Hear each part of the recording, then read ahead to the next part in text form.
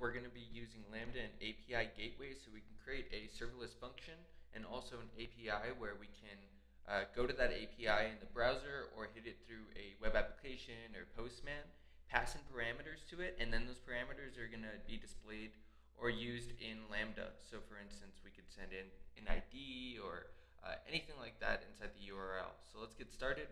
I go to Lambda, I'm going to create a function, and I'm actually just going to call this one hello world call it whatever you want for your application. Now permissions, if this is your first time using Lambda, then you just want to have it create a new role with, for you with these basic Lambda permissions. Uh, I have created a function in the past and I don't like it when it creates a bunch of um, roles for me, so I'll just come here and select the previous Lambda execution role that I have. And we'll create the function. It's going to create a really simple hello world type of um, application or function for us here in Node.js. You can change your language depending on what your preference is, right? This supports like Python, Node.js, Go, Java, etc. Um, so here, right now, we get a response from this uh, from this function when we run it. It's simply going to return hello from Lambda here with the response code of 200. What I want to do is immediately go into API Gateway because we're going to invoke the function that way. So if you go into API Gateway, I don't have any APIs at the moment, so it's going to ask me to create a new one right off the bat. I'm going to scroll down a bit and I'm going to select this REST API just because it's what I'm familiar with. You can read up on other types of APIs as well. Uh, this one says that this supports Lambda and cool, this looks like everything we need. This one right here is only accessible from within a VPC. Uh, this one's going to be publicly accessible to the world, just for testing purposes. Click OK. I'm going to create my own API. I'll teach you how to do this. And I'll call this uh, test API. You would call it whatever you'd like for your application. Leave these as is and go ahead and create that. Maybe the endpoint you could change to whatever you want it to be. Um, I'm just going to leave it as regional. Okay, so we need to create a method for this. I'm going to start with creating a post method. So let's go ahead and create a post method. And I'll show you all of this. This isn't like a deep dive on API Gateway right now. We can do some more videos on that. I just want to show you how to run this code immediately from API Gateway with some parameters in there. So I'm going to do that hello world function that we created in Lambda is what's going to be triggered whenever I hit this API on with a post request, right? The post method. So you can choose different types of integration. So this is going to trigger different actions to run within AWS, excuse me. We'll use default timeout. For now, this is all fine. Click OK. Cool. Let me launch this API just to show you what it looks like. So we'll deploy it. We'll have to create a new stage for this. So I like to create a dev stage first. You can write a description and a deployment description if you'd like, but I'm going to leave, or maybe I'll just put this is the development stage, deploy, and we'll preemptively create a staging just to show you that, cool, we'll copy that whatever code we sent to dev. I created a staging so we can, I can show you what it looks like just to push these APIs and, you know, test with different ones. So back to resources, this is uh, stages. This is going to show you like obviously the different stages because if you're working on the dev API, um, you're going to have different routes potentially and different things that you could break. Whereas, like if you push that code to staging, staging could remain the same without having those, you know, just like a typical coding environment. But anyways, we'll go back to the resources here. Oh, I was going to show you how to run this. Okay, so once you push that, right, and you deploy your API, you have this invoke URL here. So you can copy this URL and you can invoke it either in right the browser or more typically it's going to be from Postman. So I have Postman opened here. I'm going to preemptively put in the URL that I'm going to be hitting right here, and then also the type of method that I'm going to be using. So you have get, post, put, patch, etc. I'm going to be using post in this instance. It actually will work, I think. Let's see. So I just sent a post request to this um, API URL, and you can see it says hello from Lambda. So now let's go ahead and start inserting those parameters. There's this event thingamabob here that we can take advantage of from Lambda. hello from Lambda. The ID is, and then I'll push event. Inside that event, I'm gonna um, pass in a parameter, right? So like, let's say I'm in Postman. I'm gonna have this ID, and then I'll name it like 1A, 2B, 3C, 4D, just for fun. If I send it now, I'm gonna get an error, or well, I'm still gonna get that old code. Um, but also this API doesn't really know how to handle these parameters as of right now. So we'll have to go ahead and, and teach it how to do that. But so when I pass it here, there's going to be that parameter here. I'm going to call it ID, just you know, just to grab that ID. Um, we could call it whatever you want, right? Whatever the parameter is going to be. Maybe it's a provider, maybe it's a location, whatever it is. But right now I'm going to keep it as ID. I'm going to preemptively deploy this here. Okay, now back to API Gateway. So my, my code in Lambda has been updated. So now if I run it from Postman here, the ID is undefined because right now the API gateway doesn't understand how to handle this parameter that, that I'm passing in. So let's go ahead and do that now. So back to resources, go to post. Kind of hard to navigate around the API gateway um, console sometimes. So just remember resources here is what you're going to be clicking to create like new methods or new resource. So a new resource meaning like a different part of this URL. Right now I'm just using the naked URL. I'm going to pass in a query like ID 1A, 2B, 3C.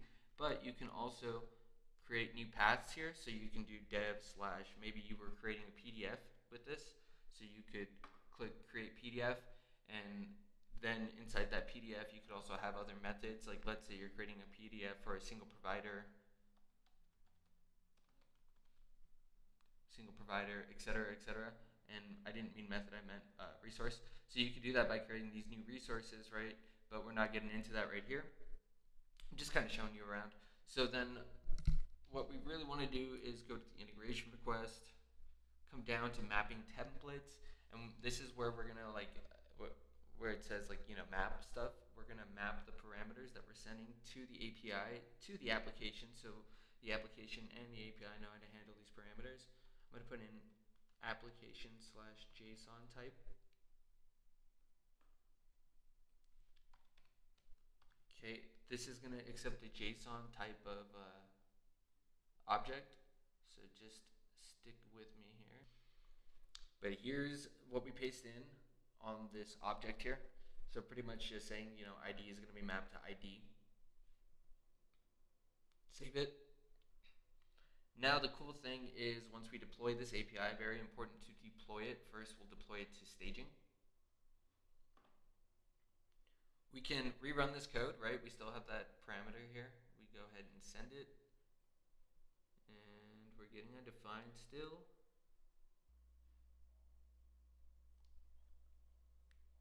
Okay, we just had to give it a little bit for the API to update. And once it's updated, you can see we run the code again, and now it's saying the ID is 1A, 2B, 3C, 4D. Okay, cool. Now, since this code is essentially working, what I'm going to want to do is go to resources. Let's push this to staging as well. In case I start breaking stuff on dev, I'll know that staging is working, and you know I can hand my manager this link here so he can use this staging API, which I know isn't broken as of right now. We can hand this to the client perhaps, or we can pass it out internally. And things aren't going to break here, but I can do whatever I want on dev, right? Because that's what pros do. So it would be very similar to what I do here. I just run it with the, the staging URL instead of the dev URL. So I'll paste that, send it, and I get the same response. I'm to change it back, excuse me, I'm to change it back to dev right now because we're going to start messing with some more stuff here. We're going to create a new method. You know what? Let us create a new resource first. I'm going to call this, um, let's say we're going to get a PDF, so I'll call it get PDF. Create that resource here, and in that resource I will create a method. It's going to be a get method, so I can run it in the browser and show you what that looks like and what we'll have to do there. And for now, I'm going to do the same hello world function that runs once I get this and I'll click OK. show you. What, I'm going to deploy it, and I'll show you what this bad boy looks like only on dev, and I'm going to go ahead and deploy. So now back on stages, just just to kind of illustrate what this is going to look like, the workflow, right?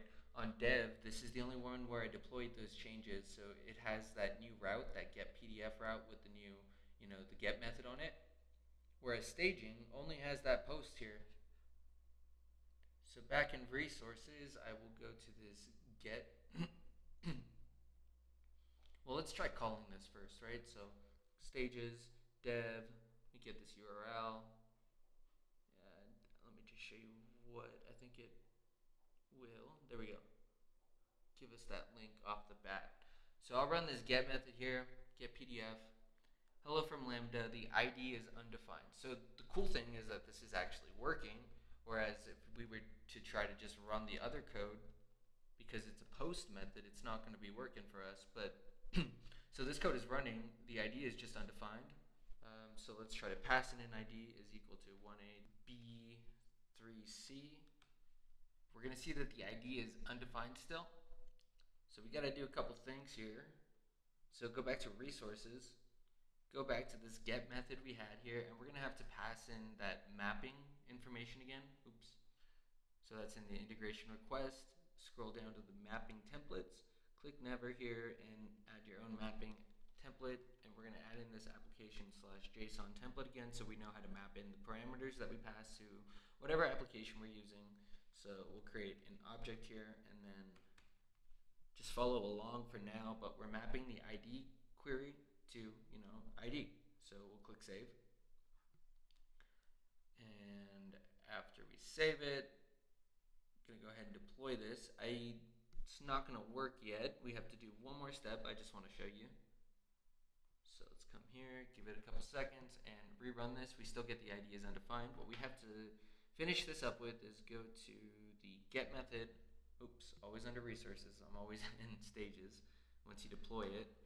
Method request and come to HTTP request headers and add a header and we're going to call it method.request.querystring.id and we will have this be required.